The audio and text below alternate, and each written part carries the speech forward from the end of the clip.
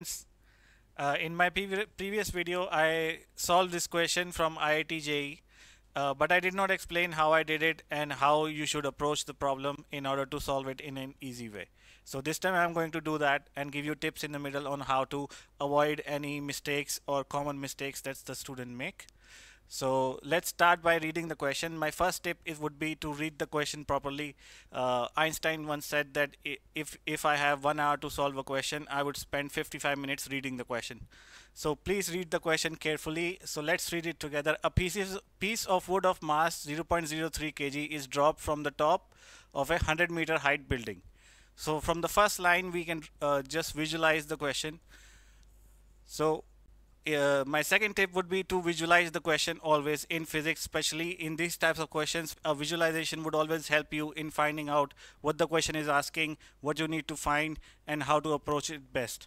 So, uh, so uh, from the first line, we can see that there's a piece of wood uh, that we are going to draw like this, and the, the mass is given as 0.03 kg, and it is dropped from a 100 meter high building. Now, if you pay attention uh, to the word, this one dropped here, we can see that it is it says dropped. That means the initial velocity u of this mass is zero. That is given in the question. So now moving on at the same time. So it's it says at the same time, it, which means the time interval between the two projectiles is zero uh, a bullet of mass uh, 0.02 kg is fired vertically upward with a velocity of 0 meter 100 meter per second from the ground. So this is the ground level and it is saying that the bullet of with velocity 100 meter per second is being fired from here upwards. And the mass is given as 0.02 kg next we move on move on uh, so at this point we can uh, obviously see that the block is going to drop down and the bullet is moving upwards so at that at some point these are going to collide. So and that is also given in the question. Uh, it says here that the bullet gets embedded in the wood so this is a very important line is in this question. The word embed uh, gets embedded. That means that there, there will be energy loss the bullet will be get will get embedded in this uh, in the wood, wooden block. That means at some point here where they will meet they will turn into a combined mass. So this is the block and the bullet and the mass will collide here and turn into a single mass. Next it says that then the maximum height to which the combined system reaches above the top of the building before falling below is so the question says that this mass will now move upwards and reach a maximum height. Uh, and they are asking this height, the height above the building where the combined mass reaches. Let's say it is h. Uh, and the next thing we can figure out from here is that since this is the maximum height this combined mass will reach, what is going to be the final velocity of the mass here when it reaches here? It's going to be 0. So now that we have an overview of the question, we can now see that since they are asking us the maximum height at which the combined mass reaches, now we have to find, what do we need to find out that value? We can use this equation, v square minus u square equal to 2as. So now s is the value we value we have to find out. We know the acceleration as minus g and we have since I just told you the v final velocity here is 0. So the what is left here? Only u is left. So that means that it, if, if at this point we can find out the velocity at which it starts, the initial velocity of the combined mass, if we can find that, we can find out the height easily. So let's focus on that. So since we know that the bullet and the mass are getting embedded after traveling in a straight line, we can either use two equations. Uh, as we know in collisions, there's two main equations that we can uh, apply to get the velocities before and after. One is conservation of energy and the another one is conservation of momentum. Now, which of these would we like to use here? We, which, which one would apply here? So look carefully here. Since we, again I draw your attention here, the question says the bullet is embedded in the wood, which means there's going to be some loss of energy. The energy, the conservation of energy cannot apply here because the energy is going to be lost when the bullet is getting embedded in the mass. So this one is out of the question. We cannot use this. We are left with conservation of momentum, which is good because conservation of momentum, uh, the velocity exponent is just one. It's not v square. So it is easier to solve as well. So now that we know to in order to find the velocity of this combined mass, we need to apply conservation of momentum. Let's write down the equation that we would uh, use to find out the velocity of the combined mass. So the final momentum, let's say capital M into capital V equals m1v1 plus m2v2. Now the mass of the bullet and the mass of the block is known to us. It is given in the question the mass values of both of these. And uh, capital V is the velocity that we have to find, which is written as u here. So now we can easily find out the mass of the combined of the combined mass because it's just going to be the sum of the mass masses of the individual components. So now we are left with V1 and V2. So in order to find out capital V, we have to find out V1 and V2. Notice that uh, until this point we have done no calculations and we haven't used uh, solved any kind of equations. We're just understanding the question and how to get to the answer. And later you will see how easy it is to solve the question once we have done all of this work. Now, in order to find out the uh, in order to in order to find out these two velocities, what do we need? What do we need? So this is going to fall down and this is coming upwards. So we can simply use V equals U plus AT for both of these. Which is a fairly simple formula. All you need is the time. So the time at which they meet or travel this amount of distance that we have to find out.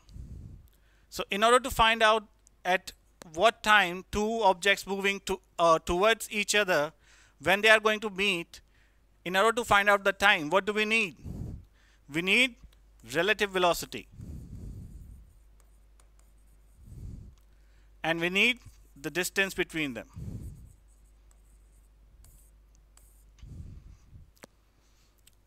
so let's try to find out what is the relative velocity of this mass and the bullet. So since they are going to move towards each other, it is fairly simple that their velocities are going to be added to each other and not subtracted. So let's write down what the velocities could be.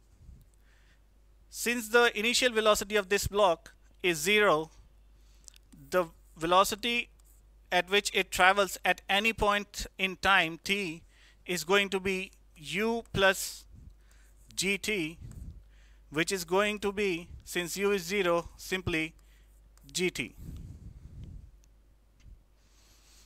and for the bullet since it has a velocity of 100 meter per second we're just going to put that as u and then we're going to subtract gt because g is acting in the opposite direction uh, at the of which the bullet is traveling. So now that we have both the velocities, we can calculate the relative velocities by simply adding them together, which is going to be V relative equals 100 minus GT plus gt and you can see that gt and gt will cancel out and we're just left with 100 and this is very interesting because both of these pieces of mass are under the effect of gravity which means they are acted upon by an acceleration equal to g yet their relative velocity is constant. It is independent of g and it is independent of time. So this this makes calculation uh, very easy for us going forward. So now that we know the relative velocity is 100 and we also know that the initial distance between these two is 100 we can just simply calculate the time t equal to 100 upon 100 which is 1 second. So at this point we found out that these two mass pieces of mass they're going to become a combined mass after one second. Now what we have to do is find out the velocities just before impact so we can use the momentum uh, we can use the momentum conservation equation and find out the velocity of the combined mass just after the collision. So moving forward from here so what's going to be the velocity of the bullet after one second the velocity of the bullet is obviously obviously 100 minus g into t which is 1 and g is 10 so it's going to be 90 meter per second. And similarly for the mass that is being dropped from the top v is going to be 0 plus 10 into 1 which is going to be 10 meter per second now all we have to do is plug these two uh, plug these two into the conservation of momentum equation that we uh, derived over here and we will have our answer. So let's do that. So the combined mass capital M equals 0.02 plus 0.03 equal to 0.05 kg. That is the value of capital M. So it's going to be 0.05 into vel uh, the velocity we have to find capital V e equal to 0 0.03 into 10 uh, now there's an important point here that some people might miss is that these two velocities are in opposite direction so they're going to not add the momentum of, we are not going, we cannot just add the momentum. We have to uh, subtract it. So 0.03 into 10 minus, oh, so this is also going to be negative if we are going to take that one as my, and, uh, so if we are going to take this momentum as negative, the final momentum is also going to be negative. So negative of 0.05 into velocity equals 0.03 into 10 uh, minus 0.02 into into 90 which is the velocity.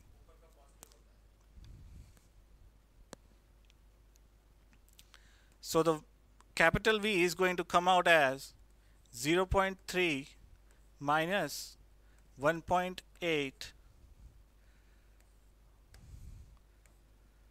over 0.05 now this is going to come out as 30 meter per second.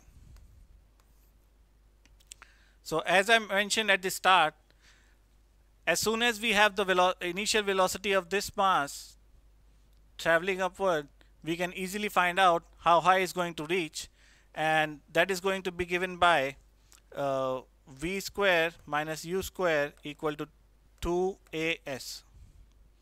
So s is going to be uh, v square minus u square over 2 into g. Now we know the final velocity is 0 and the initial velocity is 30. The square is going to be 900 and now we have 2 into minus 10 so this is going to be come out coming out as 45 now once we know that the maximum height is going to reach from this point is 45 and we look at our options the options here do, uh, do not have 45 it's only 10 20 30 and 40 so what's missing here? What is missing here is the distance that we have just found out is from the point of meeting to the maximum height. The maximum point it will reach. But what we are being asked what h is being asked here is from the top of the building. So now we have to find out how uh, the what how, what is the distance of the point of meeting from the top of the building. Which we can easily find out since we know uh, since we know the equation s equal to ut plus half gt square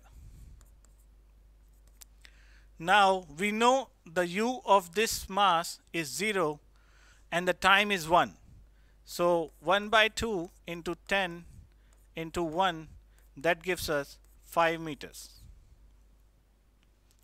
So we know that this distance is 5 and that total distance is 45 which gives us the final answer as h equals to 45 minus 5 equal to 40 meters. So I hope you can see how important it is to the, read the question properly and then understand what is being asked and by just simply following the basic concepts we can find out the uh, we can find out the answers relatively easily. Even though this is an uh, IIT JEE question you can see that if you go step by step understand the question have your concepts solid you can find out the answer very easily. There's nothing hard about about this all of this that I've done here. There's nothing special about this. Anybody can do this. And today we uh, I hope you get something valuable from this. And please like share subscribe and I will see you in the next one. Thank you